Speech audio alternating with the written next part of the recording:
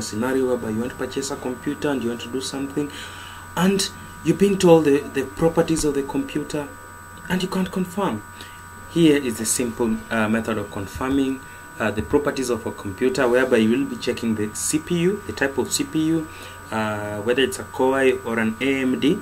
Uh, you will be uh, able to see the type of operating system installed, the RAM and everything that is. So the first method that we're going to use is you right click on this PC, then you go to properties. From there you'll be able to see everything. Um, here we have uh, the Windows edition. We have Windows 10 Pro which is installed in this computer of mine.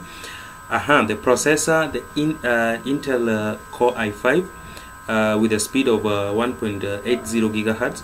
Installed RAM uh, 6 GB system type uh, 64-bit operating system whether it's Pentouch or not.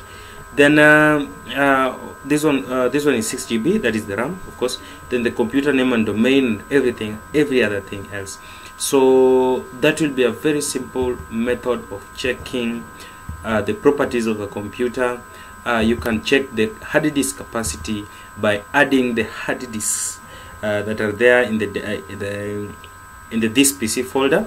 Uh, from there here you can also use it to check the properties of the computer where you right click on this PC from this side.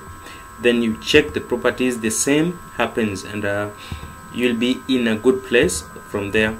Uh, thank you for watching this and uh, kindly subscribe subscribe subscribe share uh, for support thank you